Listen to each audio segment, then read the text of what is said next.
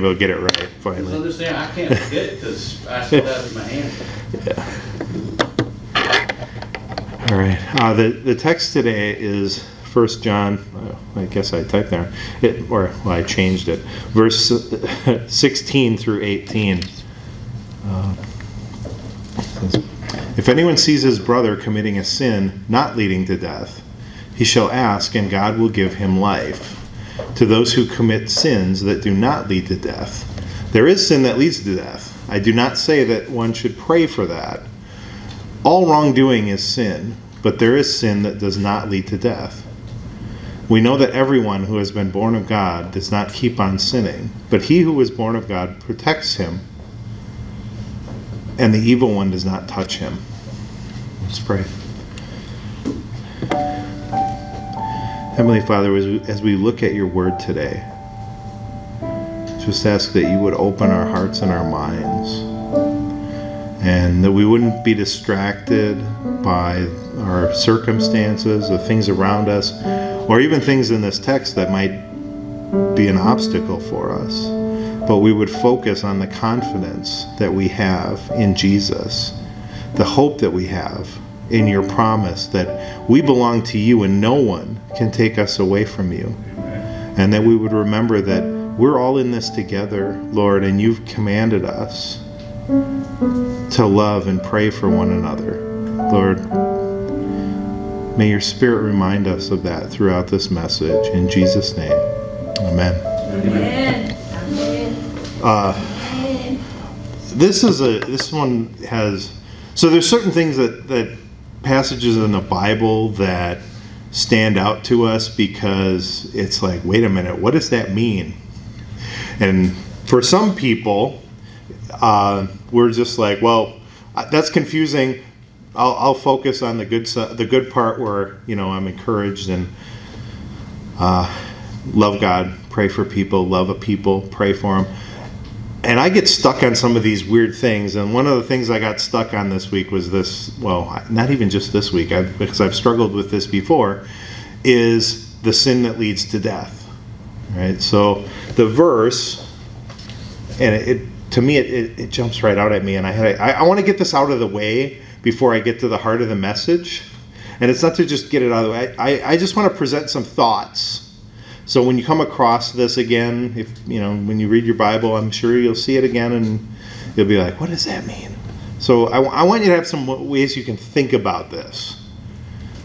And there's been a lot of commentary on this over the years, and I'm, so I'll present some of that. But it, it says, "If anyone sees his brother committing a sin not leading to death, he shall ask, and God will give him life." To those who commit sins that do not lead to death. And this is what gets me. There is a sin that leads to death. I do not say that one should pray for that. So that's my question. What is the sin that leads to death? And if you guys haven't noticed by now, I, I like to read and research a lot. So this one consumed a lot of time for me this week, trying to find as much thought as I could on this passage. So, uh, the first thought is the Old Testament. So when when they would offer sacrifices in the Old Testament, there were sacrifices for all the different types of sins and intercession for it. But they made a distinction between sins that you commit inadvertently, that is, you don't go out and intentionally do it, and rebellious sins where you're intentionally rebelling against God. And in the Old Testament, it said in, that there's no sacrifice for that kind of sin. It's, it's like one of those things where if you if you sin like this, you're out of the family, like you were kicked out of the community. So I, I don't think that that's quite what this has in mind, but it's there. Um, now, the in Catholicism, they make a distinction between mortal sins and venial sins. Okay, mortal sins, as it says, are sins that lead to death. Like so, in other words, well, and venial sins are lesser sins. Now, the distinction is venial sins hurt our relationship with God. In other words, it takes us out of a right relationship with God, but it doesn't affect our salvation. Now, mortal sins are sins that not only take us out of relationship with God, but they separate us from God in such a way that if you die with an unconfessed mortal sin, you go straight to hell. Uh, so that is the reason in Catholicism, if you commit suicide, you immediately go to hell. There's because you committed murder against yourself, which is a mortal sin, and you cannot be forgiven for it. Now, I, don't know if that's the right idea either, but this is the actual verse that Catholics use to make the distinction between mortal and venial sins. I want to get it out there so you know you kind of know where this is coming from. Now, some people say there's a specific deadly sin. And this would be a very high handed, rebellious sin. One example would be when Jesus spoke about blasphemy against the Holy Spirit. Jesus said, Every sin can be forgiven, but blasphemy against the Holy Spirit you can't be forgiven of. Now, that's a whole nother sermon because that's one of those other passages that everybody's like, Well, what is the blasphemy against the Holy Spirit? Some people think that this sin that leads to death is that blasphemy against the Holy Spirit. And in that would be, but it, it, it also can mean, for some people, uh, a sin that the earthly punishment for it is death. Okay, so Ananias and Sapphira would be a good example of this. They lied to the Holy Spirit and they were struck dead. If you if you remember the story, this couple, Ananias and Sapphira, all the people in the early church in Acts were selling stuff and giving the money to the church. And Ananias went to the apostles. He had sold some land and he gave them all the money. He gave them the money and made this claim that they gave him all the money. And they lied to the Holy Spirit, and first Ananias dropped dead. Then his wife comes and she's questioned and asked, Did you give all the money? And she claims they gave all the money. And, you know, she's told, You didn't lie to people, you lied to the Holy Spirit. Behold, the people that are carrying out your husband's dead body are coming and they're going to carry out your dead body. And she drops dead. So some people think that is what the sin that leads to death is. That to me seems a little more logical than the the previous ones, but it might not be. Uh, the why I said blasphemy against the Holy Spirit. See, I'm getting ahead of myself again this week. Now, another thought is that this is a total rejection of the gospel and of Jesus. Now, not just a rejection in the way that you're thinking, like, I don't believe that, it's nonsense I think John might have in mind those false teachers that he referred to as the antichrists earlier in the text. That it's these people that not only deny the gospel, they deny Jesus is God and everything in the Christianity is fake, and they're just trying intentionally to turn people against Jesus and against God. It's the, the false teachers manifested the spirit of the Antichrist. They separated themselves from the true church. They perverted and rejected the message of redemption in Christ. And they deliberately rejected the incarnate Son of God, in whom eternal life is available. They committed themselves to a spiritual attitude and a course of action that could only be characterized as sin unto death. Now, if, if that's, well, if any of these are correct, and I, I think that the further down the list you get, it, it's closer to more correct answers. I don't have a actual position on this because these are all positions that the church in one denomination or another has held historically. They, th this is what they think. And now you see why I wanted to get this out of the way, like so you're not distracted. But, or maybe I'm just distracting you right now. But John is basically, I think, saying that for those who willfully, resolutely, irrevocably reject the teaching about Jesus, what he did, who he was, it's it's it's useless to pray for those people because they've already rejected everything at such a to such an extent that they're not going to turn back.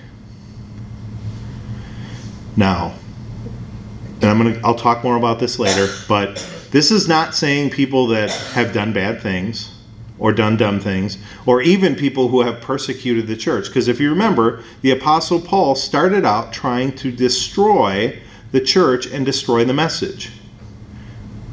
But he had never been encountered by he had never encountered the presence of Jesus. So when he encountered the presence of Jesus, he repented. These the I think that the people they're talking about here are intentionally unrepentant. They've intentionally chosen to attack the Savior, even as the Savior offers them salvation. So, but all that to get to this point, right? What the? All sin is wrongdoing, right?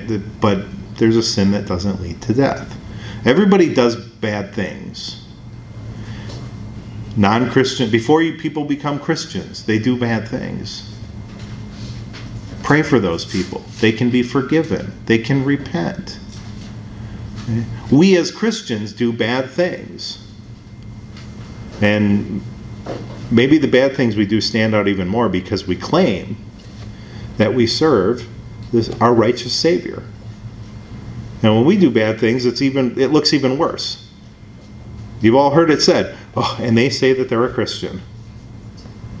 If you haven't heard that in your life, well, you heard it now. Like, I used to hear it all the time, and I hear it a lot in churches when people were gossiping about each other. Well, they claim to be a Christian, and look at that. This message today is it, it's driving us in a different direction than that. Okay. We know that everyone who has been born of God does not keep on sinning, but he who is born of God protects him, and the evil one does not touch him. And this is our hope. This is the reason that we pray, because we have this promise that those of us who trust Jesus, even if we sin, God is going to protect us, and the enemy is not going to touch them. And so I want to read this, and it's it's just a wonderful quote. Um, it's by uh, Charles Spurgeon in an address that he gave to pastors. He said, "Might not we win more victories if we more constantly use the weapon of prayer?" All hell is vanquished when the believer bows his knees in supplication. It's a little dated. Beloved brethren, let us pray. We cannot all argue, but we can all pray. We cannot all be leaders, but we can all be pleaders. We cannot all be mighty in rhetoric, but we can all be prevalent in prayer. I would sooner, sooner see you eloquent with God than with men. Prayer links us with the eternal, the omnipotent, the infinite, and hence it is our chief resort. Resolve to serve the Lord and to be faithful in his cause, for then you may boldly appeal for him for help in a time of need. Be sure that you are with God, and then you'll be, be sure that God is with you. Now, while in this passage it seems like John's thoughts are kind of going in a different direction, and it's talking about praying for other people and one of the things I want to ask when, when I go to heaven and, and I meet John, I want to ask him, why why did you put that verse in there about the sin that leads to death? Because and not praying for those people, because that really d- distracts me and it makes me think to myself, so am I praying for people I'm not supposed to be? But that's not the message. Okay, he's not changing direction here. He's he's continuing with that same message of hope and confidence that we've seen so far. Now, if you remember, the best place to be as Christians is abiding with Jesus. That is, in the loving, dependent, trusting relationship with God that we are meant to be in. And it's clear that sometimes we fall short of that idea. But even when we fall short, we can have confidence that we can return to Jesus for forgiveness. In other words, sin actually does affect our relationship with God and with other people. And sometimes we notice it more, and sometimes we notice it less. Sometimes we can keep on going down a stupid path for a really long time before we realize how far we've strayed and how much our relationship with God has been hurt. But we also saw that when we pray, when we turn back to God, and when we pray again according to His will, we can be confident that God is going to answer those prayers. And last week I talked about the two two main ways, not the only two ways, but two main ways that we can pray according to God's will. One of them is for repentance, people asking God for forgiveness. And that category would extend to us all praying for people we know that are not following Jesus. If you have friends, if you have relatives, if you have coworkers, if you have people you know, and if you have neighbors that are not following Jesus and you pray for them, you are praying according to God's will. But this week, John kind of draws us to this other category of fellow Christians who may have wandered from following God's will. And he's saying we need to pray that those people repent. Because we know that God wants everyone to be saved. And God wants all people that follow Jesus to be more and more conformed to his image. In other words, the sanctification part. That's his will. He wants us to be more like Jesus as we try to show the world Jesus. So, what do we do when we see people sinning? Right? If it's the world, it's people outside the church, we pray for them. We share Jesus with them. Not necessarily standing on a street corner with a Bible in your hand screaming, Repent, for the kingdom is at hand, and you have a little sandwich board with a Bible verse.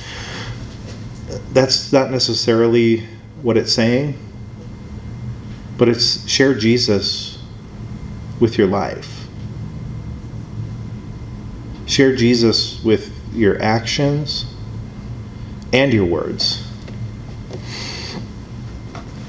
But I also think that this, this passage gives us a first clear step in what it looks like to, to really love people around you in the church. So, before I go any further, I want to just say what this doesn't, what, what John is saying it doesn't involve is going and telling someone else. If you see somebody sinning, quite often the first response is, Hey, did you hear what Jerry did last week? Yeah, he got arrested. Oh, he says he's a Christian. That's not what we're supposed to do. I mean, people like to talk about what we see. That's why there's ch- channels like TMZ where all it's about all the celebrities doing dumb things because that you know we like to look at it and laugh because hey, I didn't do anything that dumb, and even when I did, it wasn't on TV. But no, the the only here, the only person that you talk to is God, and you're asking God that the person would be led to turn from their sin and return to God. And and the second thing is that stood out to me that there are places in the Bible where it tells you to talk to somebody about their sin. This one doesn't say that. This one just says pray. Now, there, there might be an appropriate time to talk to your brothers and sisters in Christ about something that they're doing that may not be appropriate, but this doesn't even go that far. We are called to pray for them and pray that they might be restored. Now, this might actually also have a benefit for ourselves because I know when when I in my experience when I've seen problems start in churches, someone was offended and they felt like they had to say something. They went to that person, offended them, then that person went back, then they got more people involved, and suddenly they've started a little war. The benefit for this is if we stop and we pray, we might just see that other person as God sees them. We might have compassion. We might learn to love and support that person through our prayers rather than starting a feud. In other words, instead of going out and talking to the person, maybe we need to keep our mouths closed and go and open our hearts before God. Now, I, will talk about this very briefly, hopefully. The Bible does talk about appropriate times to address someone who has sinned. Okay? Galatians 6 1. Brothers, if anyone caught in any transgression, you who are spiritual should restore him in a spirit of gentleness. Keep watch on yourselves, lest you too be tempted. Bear one another's burdens, and so fulfill the law of Christ. So, I want to just point out three main things. First, it's an individual that goes to this person.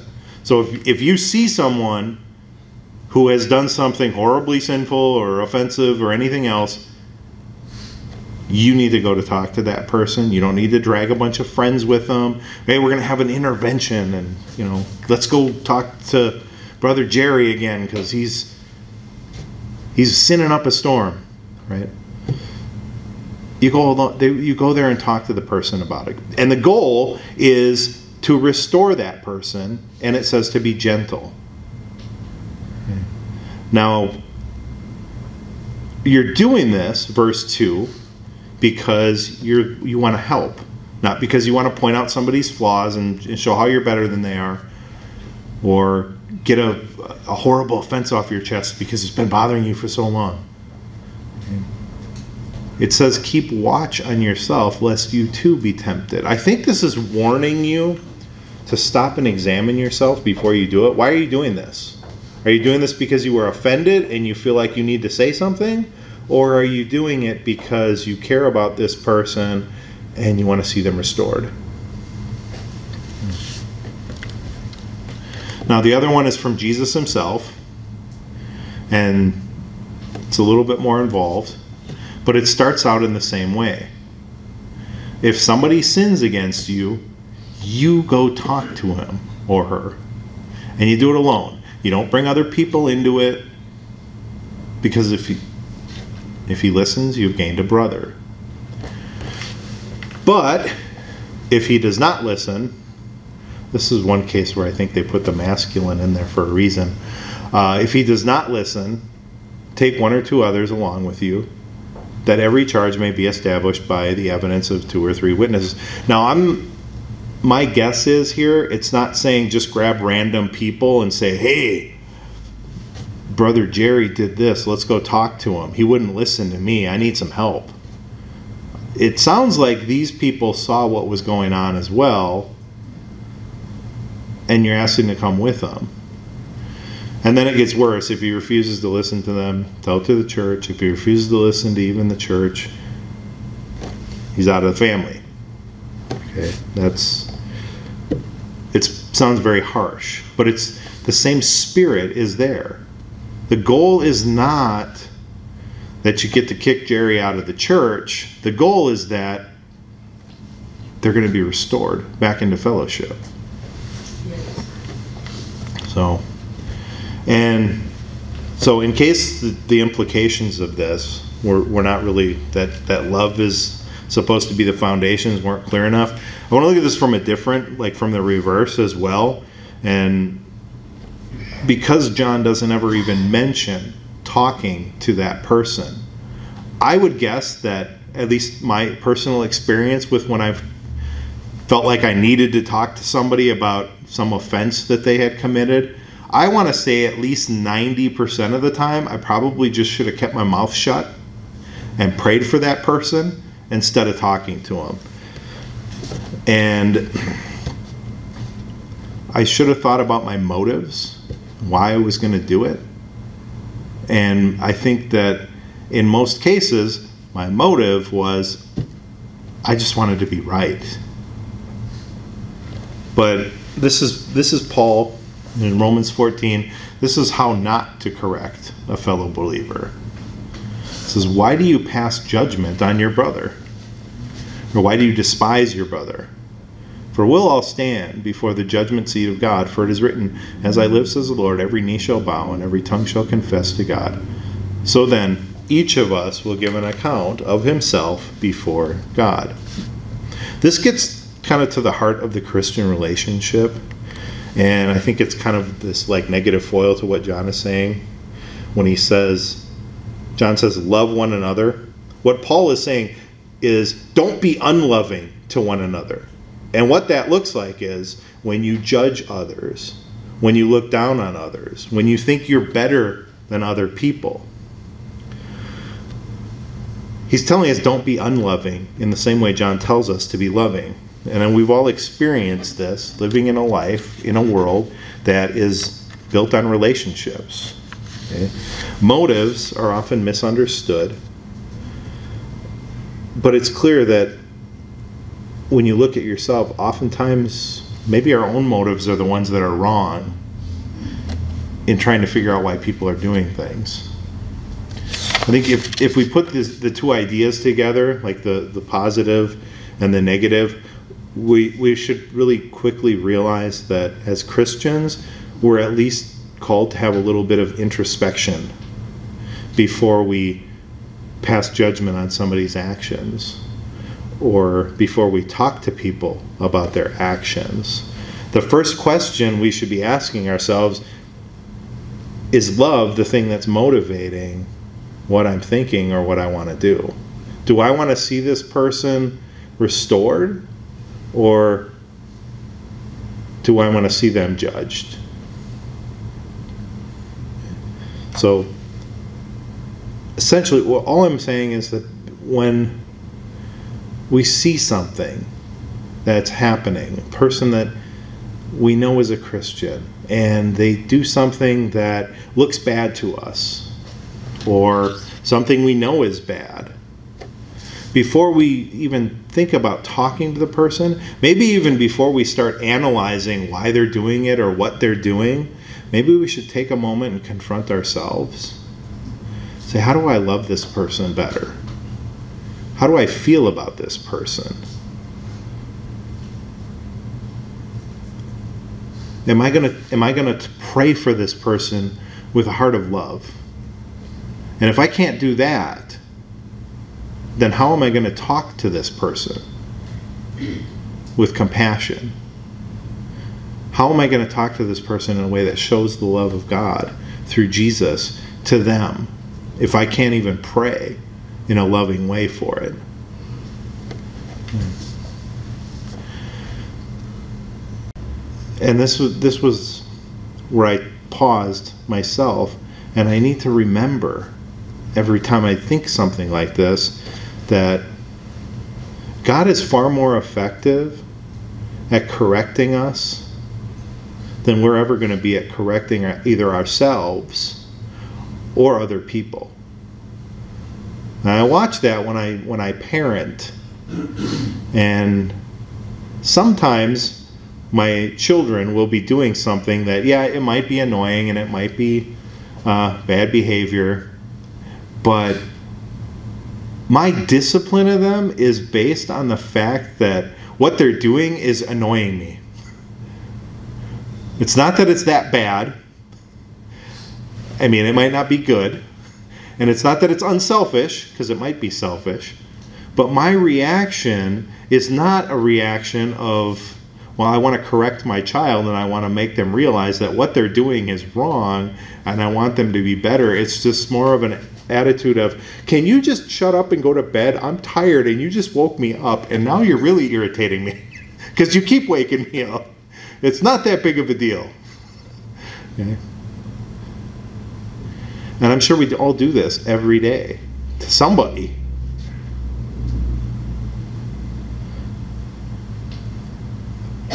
My wife looks really disturbed. Sorry. or confused. Maybe it was confused. Maybe I'm wrong motives. No.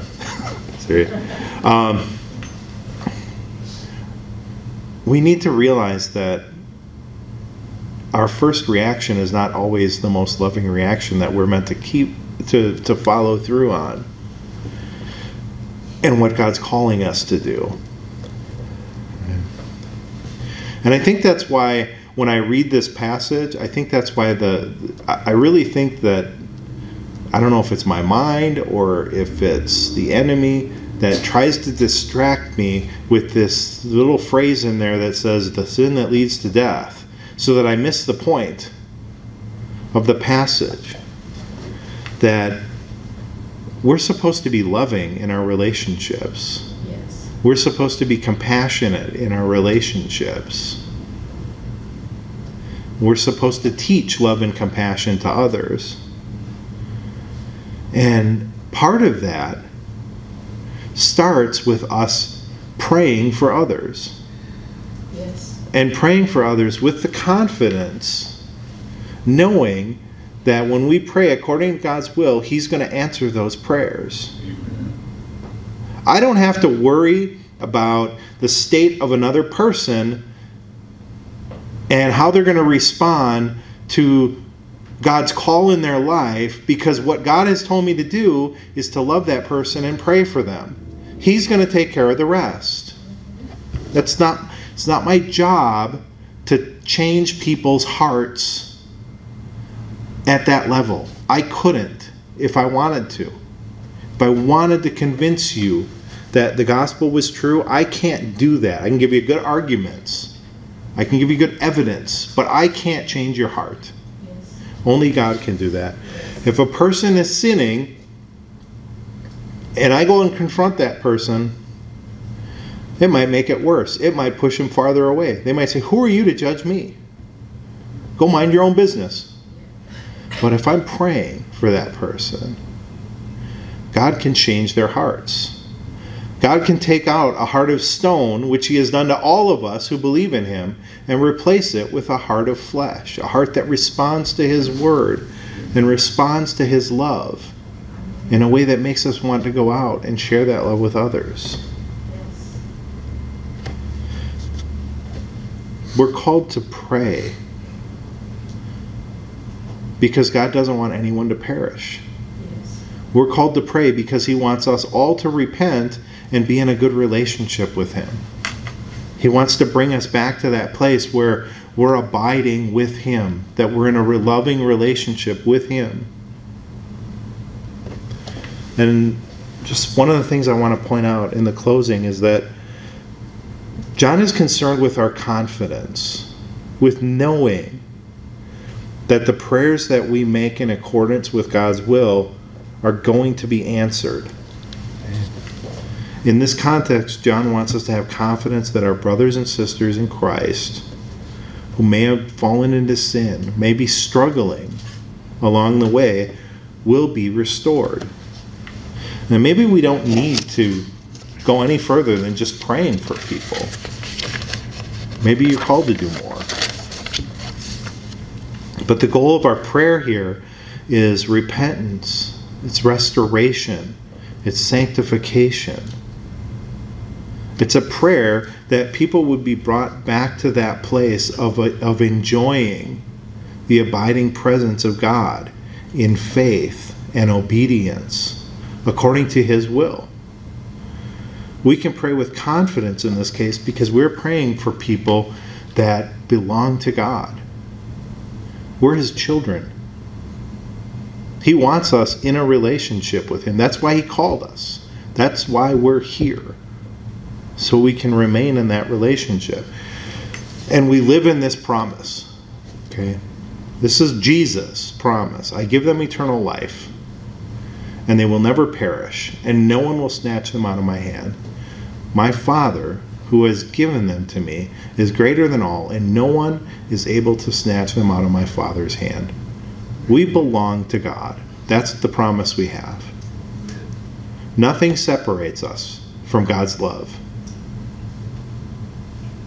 Our sin is going to affect our relationship with Him in a way that we may have problems. We may be struggling, and it might be because of our sin. But it's not going to change the fact that we belong to Him. And no one can ever take us away from Him. So let's pray.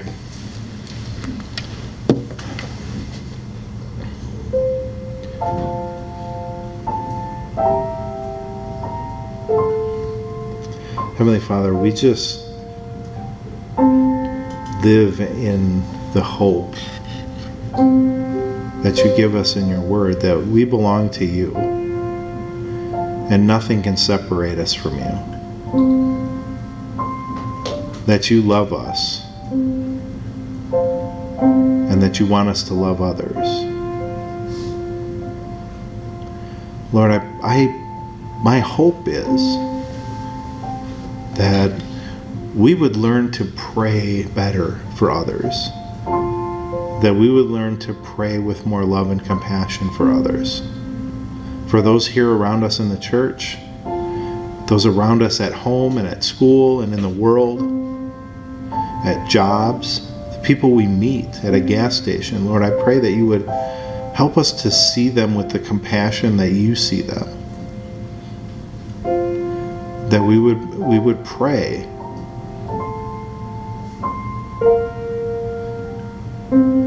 that no one would perish that we would pray that everyone would come to repentance that we would pray that